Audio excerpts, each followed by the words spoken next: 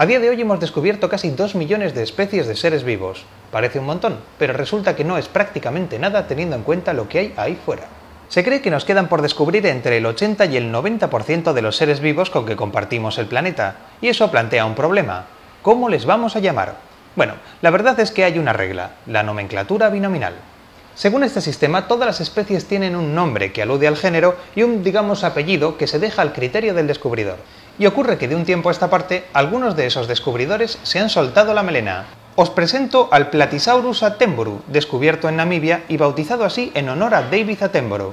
Y este lagarto no es la única especie que debe su nombre al famoso naturalista. También está la planta Blakea attenboroughi y un tipo de oso hormiguero llamado Zaglossus attenboroughi y hasta un dinosaurio, el Attenborosaurus. Claro que también hay científicos un poquito más peculiares, como los entomólogos que bautizaron a una familia de escarabajos con los nombres del gabinete de George Bush. Gracias a ellos, ahora tenemos el Agatidium bushi, el Agatidium ransfeld y el Agatidium cheni. Y por supuesto también está la variante nerd del asunto.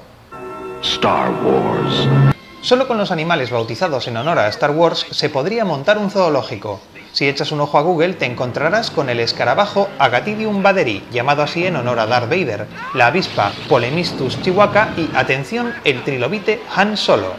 Pero si tuviésemos que hacer un ranking con los nombres más estúpidos, el número uno se lo llevaría sin duda alguna este tábano, el Scaptia Beyoncé, llamado así en honor a la prestigiosa intelectual estadounidense.